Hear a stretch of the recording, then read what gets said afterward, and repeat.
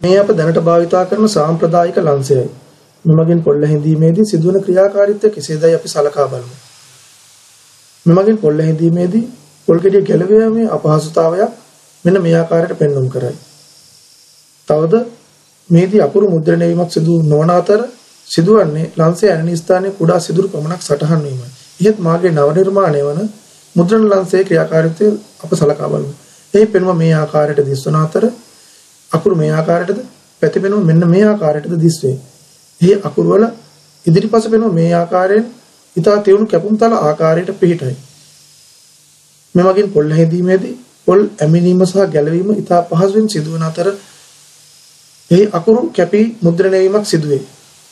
මෙසේ කැපී මුද්‍රණය වන අකුරු පොල් ගෙඩියේ මෙන්න මේ ආකාරයට දිස්වන අතර උලවට ඇති සියලුම අකුරු මුද්‍රණය වීම අවශ්‍ය නොවන අතර අකුරු කට්ටල් දෙකක් උලවටා ඇති බැවින් එක අකුරු කට්ටලයක් පමණක් හෝ එක අකුරක් දෙකක් පමණක් හෝ සටහන් වීම අපගේ ආයතනික අනන්‍යතාවය ඔප්පු කිරීමට ප්‍රමාණවත් වේ.